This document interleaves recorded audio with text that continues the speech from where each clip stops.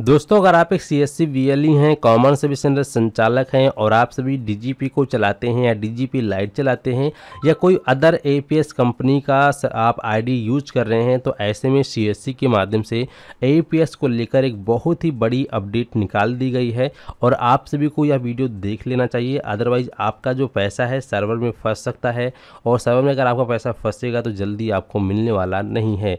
इस बात आपको खास करके ध्यान रखना है। तो अगर आप सी एस सी के माध्यम से से डीजी पे या डीजी पे लाइट चलाते हैं तो इस वीडियो को ध्यानपूर्वक देखना। तो चलिए शुरू करते हैं। जैसा कि आप सभी देख सकते हैं सीएससी के माध्यम से जो है, यहाँ पर कुछ इमेजेस भेजे गए हैं, जहाँ पे बताया गया लगभग सभी प्रमुख बैंकों के एपीएस डाउन है। यहाँ पे जिन जिन बैंकों का एपीएस डाउन है, उसका जो लिस्ट है सीएससी ने प्रोवाइड कर दिया है। जैसे कि आप यहाँ पर देख सकते हैं, अगर आप डीजीपे के द्वारा, ठीक है डीजी पे के माध्यम से अगर आप कैश निकासी करते हैं, कैश विड्रोल का काम करते हैं, या कोई भी ए में आप काम करते हैं तो उन सभी का ए सर्वर इस समय डाउन है। जैसा कि यहाँ पर देख सकते हैं, बताया गया आई सी बैंक का रिस्पॉन्स कोड क्या है और इस प्रकार से इन सभी बैंकों का जो है, आपको इमेज भी दिया गया है सीएससी के माध्यम से। इन सभी बैंकों का भी फ़िलहाल जो सर्विस सर्वर है, वो डाउन चल रहा है। इसके साथ ही साथ यहाँ पर और भी कई सारे इमेज आप सभी को देखने को मिल जाता है। तो आप सभी इस इमेज को देख लेंगे।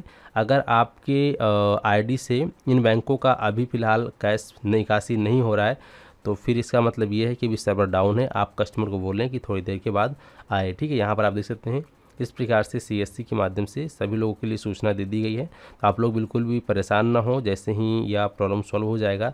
तो मैं आपको वीडियो के द्वारा सूचित कर दूँगा, या आप लोग जो है, एक निकाल के देख लेना, चालू हो जाएगा तो आप यहाँ पे काम कर सकते हैं।